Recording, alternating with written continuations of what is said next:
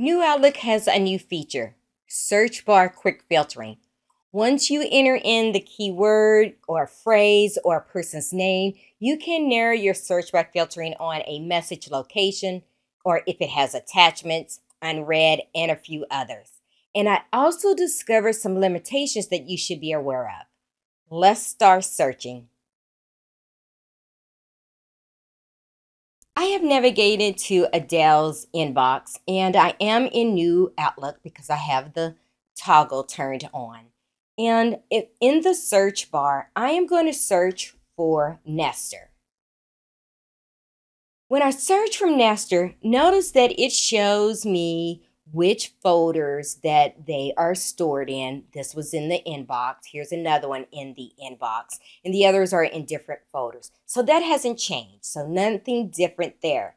What has changed is you now can say, show me any emails or messages that's in the Teams.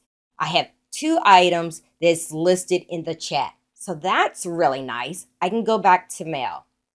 What if I want to know which items have at mention. Or let's say if I wanted to see if, if any items that I have not read by Nestor, I can look at that. You can also use a combination of filters, unread, and let's see if we have anything that is marked importance.